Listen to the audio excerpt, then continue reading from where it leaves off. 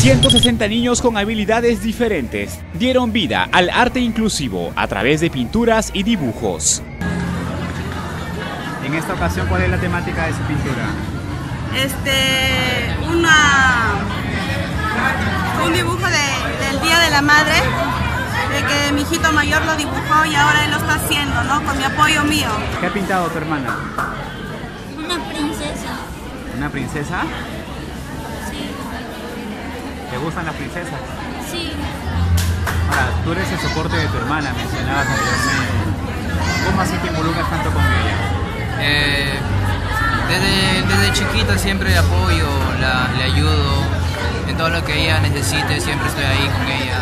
Apoyados por sus padres y hermanos, participaron del tercer concurso regional de pintura inclusiva, organizado por la ONG Caminando hacia ti.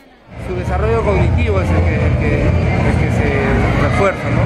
Ellos muestran el arte que tienen dentro, el arte que ellos tienen guardado dentro, lo plasman en una cartulina. Sería, sería muy bueno, sería muy, este, muy bonito de que las instituciones, eh, tanto las, las universidades como los mismos colegios, organicen este tipo de eventos para que sea más, más, más, más, más, este, más frecuente. Demandaron apoyo por parte de los municipios, gobierno regional y de instituciones privadas, debido a la carencia de programas de prevención, educación y rehabilitación a favor de niños discapacitados de zonas de pobreza.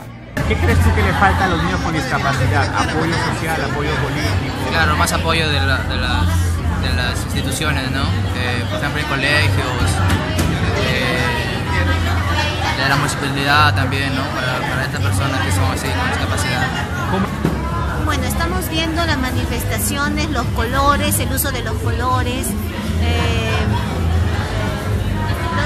la, la- la comunicación que existe en los dibujos de las emociones. Y bueno, yo creo que eso básicamente estamos. O sea, no Un dibujo transmute muchas cosas, ¿no? muy auténticos, muy originales. Temas como la familia, el cuidado del medio ambiente y el respeto por los derechos de las personas con discapacidad fueron las temáticas ganadoras en las categorías síndrome de Down, autismo, retardo mental, parálisis cerebral irregular.